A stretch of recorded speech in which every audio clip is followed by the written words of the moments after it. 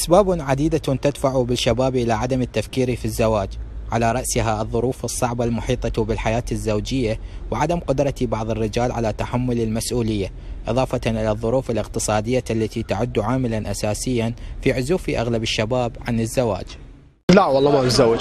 لأن اذا مثلا يعني هسه باقي الشباب يقول لك أنا ما أتزوج لا عنده معيشة أسوي بيها يعني كون بها عائلتي وهاي.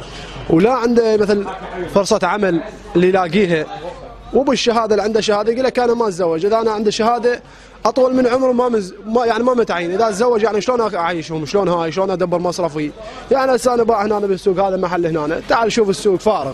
لا يريد يعني يتزوج شلون يتزوج؟ لا شغل لا عمل لا عنده مستقبل لا عنده راتب لا عنده يعني شيء شيء من هذا الشعب. كل شيء ما عنده. شلون يتزوج؟ يتزوج لما يتزوج غير عنده بيت عنده مسكن عنده هاي عنده شغل. شلون يتزوج؟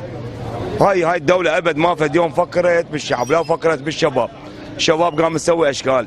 مواطنون أكدوا أن أسباب العزوف عن الزواج كثيرة ومنها ارتفاع نسب الفقر وتفشي البطالة بين أبناء المجتمع فضلا عن انخفاض مستوى دخل الشباب الذي يمنعهم من توفير متطلبات بناء أسرة. زف الشباب عن الزواج يعني أول شيء سكن ماكو حتى إذا يتخرج هو ما له كل شيء كل مقامات حياه ما, ما موجودة له. يكون عالة على اهله الزواج.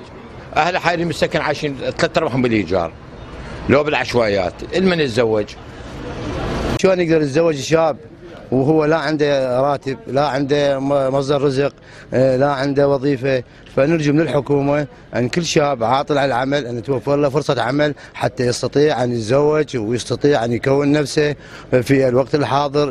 وتعرف أنت بعد إحنا شبابنا ثلاث أرباعهم هسه بدون زواج.